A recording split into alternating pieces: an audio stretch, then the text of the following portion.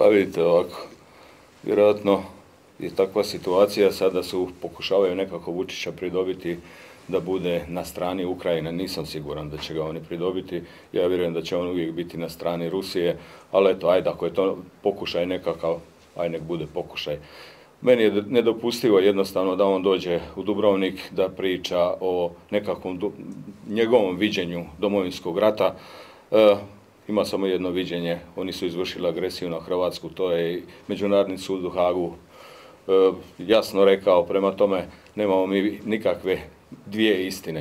E, nedopustivo je da se šeta po gradu i da priča takve stvari o domovinskom ratu, jer pa ja bih rekao Četnici i Jugoslavenska narodna armija su tu taj grad razarali na sablazan cijelog svijeta. Svi su imali e, mogućnosti vidjeti te snimke. Ja mislim da, da u svijetu svi su se zgražali što se tamo događa i sada ga pustiti i pozvati tamo e, po meni.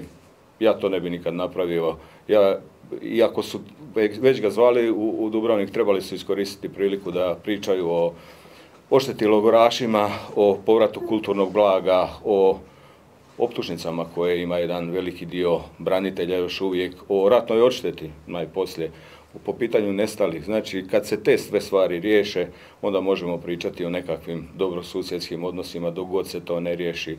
Ja smatram da on jednostavno nije iskren i po meni ja, da se mene pita, ja ga nikad ne bi znao. Hoćete li to pregovoriti svom koalicijskom partneru HDZ-u tu pozivnicu? Ja nemam s tim nikakav problem reći, ja uvijek kažem ono što mislim, znači ja apsolutno nemam problem niti u, sabornici to reći, međutim moram spomenuti i napomenuti, mi nismo organizatori toga bili, nismo e, čak ni niko od nas tamo nije bio ni prisutan, to je nekakva među, među, e, znači to je među državni ajmo reći, sastanak i sporazum, tako da kažem, oni koji su ga pozivali morali bi objasniti što su oni time mislili, a ja sam rekao naš stav. Mislim, hoćete tražiti da to objasni? Mislim, hoćete tražiti išta od, od, od predsjednika vlade, od Mislim, malo je iritantno za sve i vjerujem u ovoj državi kad čujemo Vučića, to će vi ste rekli, šeta se Dubrovnikom i priča kako on drugačije vidi da nisu, da nije Srbija izvršila vidite, vidite. A, a, od naše vlade ono